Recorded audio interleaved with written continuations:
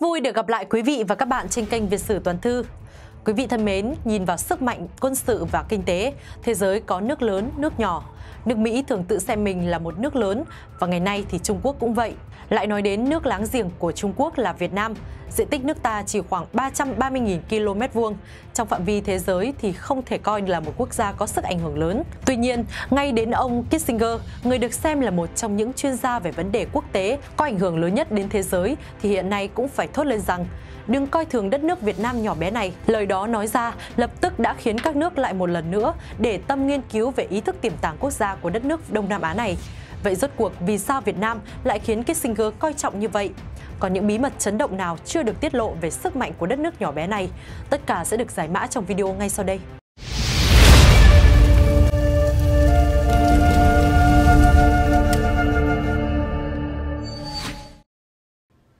Sức mạnh của nhân dân Việt Nam đã in đậm trong văn hóa của dân tộc, trong niềm tin mà Chủ tịch Hồ Chí Minh khẳng định không có gì quý hơn độc lập tự do.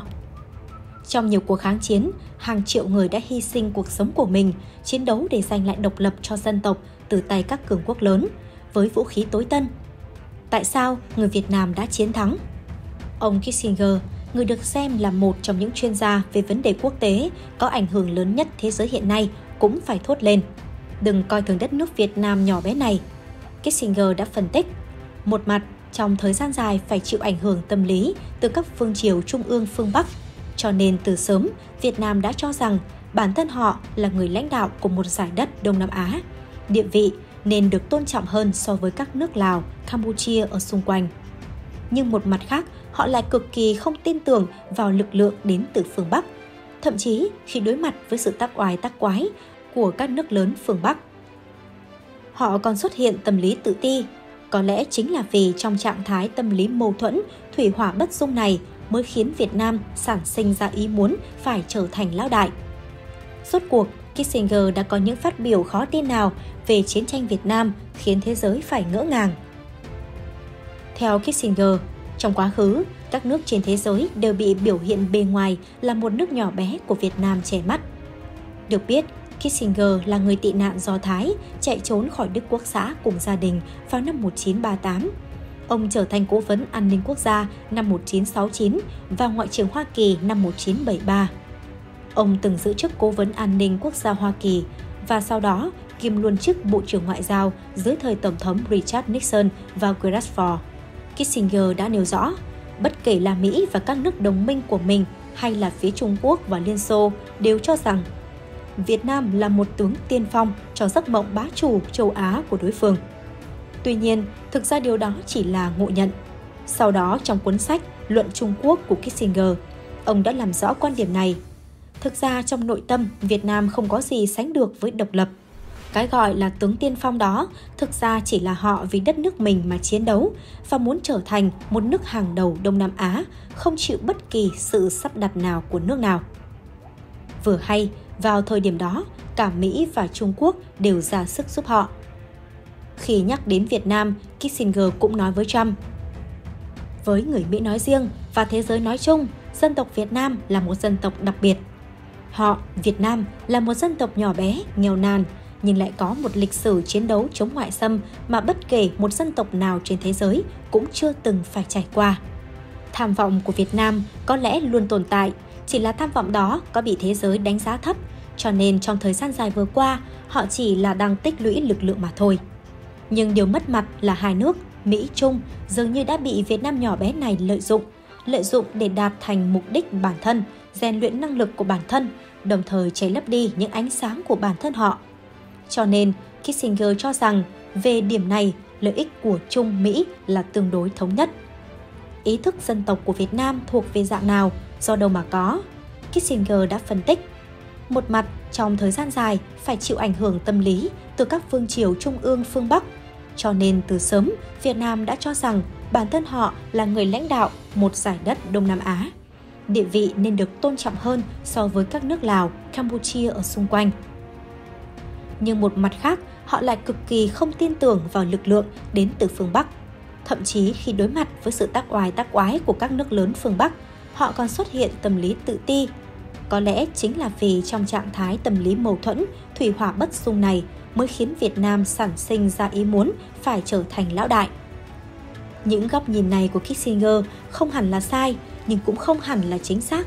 Bởi Việt Nam là một đất nước nhỏ bé, nhưng lại rất kiên cường và đang từng ngày phát triển lớn mạnh hơn. Chúng ta đã chiến thắng nhiều đế quốc sừng sỏ.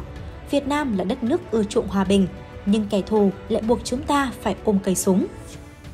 Chiến tranh Việt Nam khi có Mỹ trực tiếp tham gia từ năm 1954 đến năm 1975 là một trong 11 cuộc chiến tranh lớn nhất của thế giới hiện đại mà sự kết thúc của nó để lại rất nhiều dấu ấn thời đại. Một, đây là một cuộc chiến tranh có quy mô lớn nhất trong lịch sử 200 năm nước Mỹ.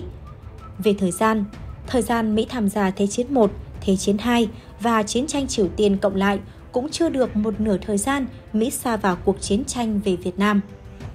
Về huy động lực lượng, cuộc chiến này Mỹ huy động sức người, sức của cao nhất của nước Mỹ. Năm đời Tổng thống với những bộ óc trí tuệ như McNamara, Henry Kissinger, Brzezinski thực hiện đủ 3 chiến lược chiến tranh, chiến tranh đặc biệt, chiến tranh cục bộ và Việt Nam hóa chiến tranh.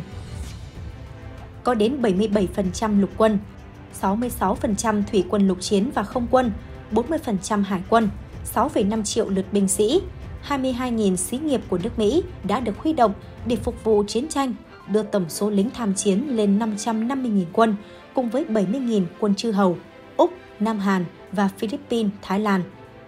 Theo thống kê chưa đầy đủ, Mỹ đã chi 920 tỷ đô la Mỹ thời giá lúc đó cho chiến tranh Việt Nam so với 341 tỷ trong Thế chiến thứ hai và 54 tỷ trong chiến tranh với Triều Tiên. Nếu tính theo thời giá hiện nay thì đây là một khoản chi phí khổng lồ.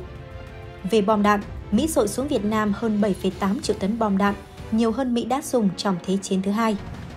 Tại miền Bắc Việt Nam, cứ 1 km vuông chịu 6 tấn và một người chịu 45,5 kg bom. Trong Thế chiến thứ hai, Đức tương ứng là 5,4 tấn và 27 kg.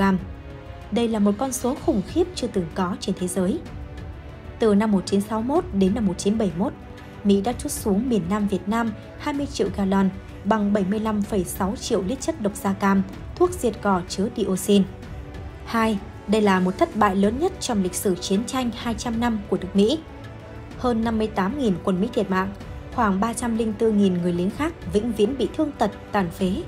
Nhưng Mỹ vẫn không ngăn nổi Việt Nam thống nhất Tổ quốc, thu sang Sơn về một mối. Tại sao Mỹ sai và thua trận? Rất nhiều sách vở, phát biểu, đánh giá các công trình nghiên cứu nói về nguyên nhân thắng trận của Việt Nam. Nhưng ở góc nhìn của Mỹ thì điều gì khiến Mỹ thua trận sẽ khiến chúng ta quan tâm nhiều hơn. Trước hết, Mỹ thua là do nhận thức sai về tính chất chiến tranh Việt Nam. Đây là nguyên nhân của mọi nguyên nhân. Mỹ cho rằng Việt Nam chống Mỹ là một cuộc chiến tranh ủy nhiệm bởi Trung Quốc và Liên Xô, nhưng thật ra không phải như vậy. Mỹ đã quên mất chuyện Chủ tịch Hồ Chí Minh đã gửi thư cho Tổng thống Mỹ vào năm 1945 như thế nào, nên đã xác định sai lầm tính chất cuộc chiến. Mỹ nên hiểu Việt Nam coi quyền lợi dân tộc, quốc gia là trên hết. Việt Nam muốn độc lập, Giang Sơn thu về một mối và sẽ chiến đấu với bất kỳ kẻ thù nào vì mục tiêu đó. Sai lầm tệ hại nhất của Mỹ là Mỹ đã bất chấp hay vô tình đối đầu với một dân tộc có truyền thống chống giặc ngoại xâm quật cường, anh dũng, thà làm quỷ nước Nam chứ không thèm làm vương đất Bắc. Thà hy sinh tất cả chứ nhất định không chịu mất nước, không chịu làm nô lệ. Mỹ nhảy vào Việt Nam là để ngăn chặn chủ nghĩa cộng sản. Nhưng nhân dân Việt Nam biết rằng Mỹ là kẻ xâm lược và chiến đấu với Mỹ như bao kẻ xâm lược khác. Người Việt Nam đánh Mỹ để bảo vệ quê hương, ruộng đồng, để không phải làm kiếp nô lệ như thời thuộc Pháp. Đánh Mỹ để thống nhất Bắc Nam, thu Giang Sơn về một mối. Cho nên, bất kỳ đàn ông hay đàn bà, người già hay người trẻ, hễ là người Việt Nam thì họ đều đứng lên chống giặc ngoại xâm. Chính tư tưởng, tinh thần đó là nguồn gốc khiến một dân tộc yêu hòa bình, yêu tự do độc lập trở nên anh hùng và tất yếu sẽ tạo ra một quân đội anh hùng. Cuối cùng là Mỹ chẳng hiểu biết gì về lịch sử chống ngoại xâm của dân tộc Việt Nam trong 4.000 năm qua. Đó chính là nghệ thuật quân sự, chiến tranh nhân dân được tôi luyện trong 4.000 năm qua đã trở nên bất khả chiến bại. Lấy ít địch nhiều, lấy yếu thắng mạnh là sở trường giành chiến thắng của một dân tộc Việt có đất không rộng, người không đông. Chiến thắng trong cuộc chiến tranh chống xâm lược Mỹ một cường quốc quân sự kinh tế hùng mạnh bậc nhất thế giới lúc bấy giờ là bài học quý giá cho hiện tại. Việt Nam ngày nay đã lớn mạnh, đã hội nhập thế giới về để bảo vệ Tổ quốc thì sẵn có truyền thống chống giặc ngoại xâm quật cường, anh dũng, thà làm quỷ nước Nam chứ không thèm làm vương đất Bắc. Thà hy sinh tất cả chứ nhất định không chịu mất nước, không chịu làm nô lệ. Sở dĩ một quốc gia bị nước ngoài thống trị và âm mưu đồng hóa trên một ngàn năm đã vùng lên và giành lại được quyền tự chủ đó chính là nhờ có ý chí độc lập tự do của cư dân người Việt sớm được khẳng định trên cơ sở những thành tựu vật chất và tinh thần ngày càng phát triển trong quá trình dựng nước và giữ nước trước đó. Ý chí đó ngày càng được bồi đắp vững chắc và phát triển trong quá trình bị nô dịch. Truyền thống dựng nước và giữ nước thấm sâu trong nhân dân như mạch nước ngầm trong lòng đất. Nó bắt nguồn từ mỗi con người, từ mỗi làng xóm, lặng lẽ đổ vào biển cả, tạo thành truyền thống của cả cộng đồng người Việt. Truyền thống đó lại được nuôi dưỡng bởi nền văn hóa, văn minh của người Việt định hình và phát triển trong thời kỳ văn lang Âu Lạc. Trong sự cọ sát với nền văn hóa Hán, nền văn hóa Đông Sơn, chẳng những không bị mai một mà lại được bổ sung, làm phong phú bởi biết tiếp thu cái hay, cái tiến bộ, cái hợp lý của nền văn hóa bên ngoài nhằm tăng sức mạnh, hùn đúc sức sống mãnh liệt của cộng đồng người Việt.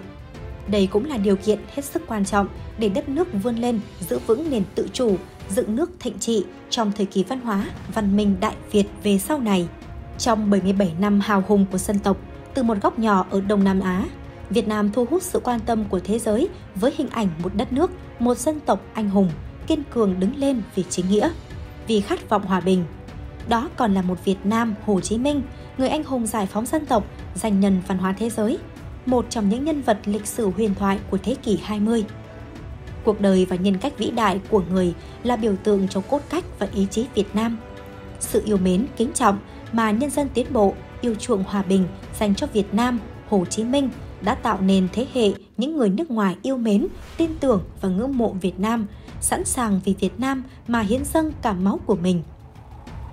Chính hình ảnh một đất nước nhỏ bé nhưng kiên cường với một lãnh tụ trí tuệ nhân ái đã đánh thức lương tri của nhân loại, đã khiến hàng triệu người trên toàn thế giới đứng lên ủng hộ sự nghiệp kháng chiến cứu nước chính nghĩa của dân tộc ta thắng lợi của Việt Nam đã trở thành niềm cổ vũ lớn lao đối với nhân dân yêu chuộng hòa bình, độc lập dân tộc, dân chủ và tiến bộ xã hội trên toàn thế giới, khẳng định vị thế, uy tín và sức mạnh của dân tộc Việt Nam. Sau chiến tranh, từ một đất nước trình độ phát triển thấp, lạc hậu, bị chiến tranh tàn phát nặng nề, bằng việc kiên trì, đề cao chính sách độc lập tự chủ, yêu chuộng hòa bình, Việt Nam từng bước mở rộng quan hệ đối ngoại, Việt Nam kiên quyết, kiên trì, chứng minh cho thế giới về một Việt Nam tôn trọng độc lập, chủ quyền, toàn vẹn lãnh thổ, thể chế chính trị và không can thiệp vào công việc nội bộ của các quốc gia, tuân thủ luật pháp quốc tế và nỗ lực vì hòa bình, ổn định và phát triển. Lập trường nhất quán đó cũng góp phần bồi đắp vị thế và uy tín Việt Nam, góp phần giúp bạn bè quốc tế hiểu và ủng hộ Việt Nam trong sự nghiệp xây dựng và bảo vệ Tổ quốc, bảo vệ chủ quyền lãnh thổ. Quý vị thân mến, dù đất nước còn đối mặt với nhiều thách thức, song niềm lạc quan, tin tưởng vào sự lãnh đạo của Đảng, vào sức mạnh nội sinh của dân tộc với sự ủng hộ của quốc tế cho phép chúng ta phải tin rằng Việt Nam sẽ chiến thắng tất cả và sẽ phát triển mạnh mẽ và sẽ phát triển đi lên mạnh mẽ hơn. Cảm ơn sự quan tâm theo dõi của quý vị và các bạn. Xin chào và hẹn gặp lại.